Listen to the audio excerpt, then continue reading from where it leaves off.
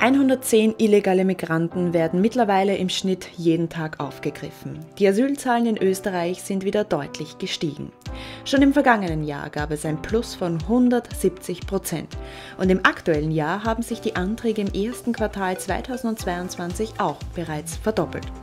Wer jetzt denkt, dass es sich dabei vorwiegend um Personen aus der Ukraine handelt, der irrt. Vertriebene aus der Ukraine werden wegen der bestehenden Sonderregelung nicht dazugezählt. Die meisten Asylanträge kamen von Afghanen, gefolgt von Syrern und Tunesiern.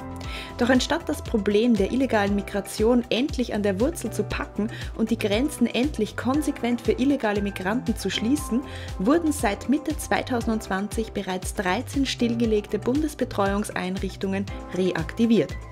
Scharfe Kritik dazu kommt von FPÖ-Sicherheitssprecher Hannes Amesbauer. Die ÖVP verwaltet das selbstverschuldete Migrations- und Asylchaos mehr schlecht als recht, anstatt endlich wirksame Maßnahmen zur Verhinderung der illegalen Zuwanderung zu ergreifen. Wenn die schwarz-grüne Regierung nicht bald etwas unternimmt, erleben wir demnächst eine Situation wie 2015. Wie gefährlich eine vollkommen ungezügelte und unkontrollierte Zuwanderung sein kann, zeigt eine Anfragebeantwortung von ÖVP-Innenminister Kahner an FPÖ-Sicherheitssprecher Hannes Amesbauer. Es ist schockierend, die Zahl der sexuellen Übergriffe ist im Vergleich zum Vorjahr um rund 7% angestiegen. Hier geht es um keine Kavaliersdelikte, sondern vorwiegend um den Missbrauch von Minderjährigen und widerlichste Gewalttaten an Frauen. Dass dieses Thema auch mit der Fremdenkriminalität in Verbindung gebracht werden muss, zeigt allein die Tatsache, dass fast ein Drittel der Tatverdächtigen Ausländer waren. Allein bei den Vergewaltigungen sind es sogar 43% Fremde. So der freiheitliche Sicherheitssprecher Hannes Amesbauer. In der Vergangenheit wurden besonders grausame Fälle wie jener der misshandelten und ermordeten kleinen Leonie oder der Gruppenvergewaltigung in Linz bekannt. Die Politik muss hier endlich reagieren und weitere illegale Migration verhindern.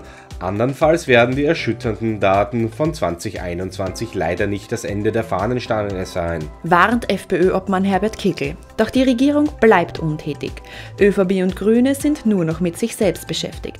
Wir haben einen Kanzler auf der Flucht. Er chattet erfolglos von einem Termin zum nächsten und ruiniert dabei die Reputation Österreichs, um den unzähligen Skandalen zu entkommen, die im direkten Umfeld seiner Partei laufend aufschlagen.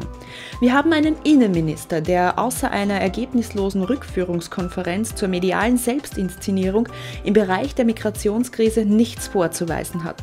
Und wir haben eine auseinanderbröselnde Koalition, zu der es schon wieder unzählige Umbildungsgerüchte gibt. Aufgrund dieser peinlichen Darbietung fragen sich inzwischen viele zu Recht, ist diese schwarz-grüne Regierung überhaupt noch handlungsfähig? Wohl kaum.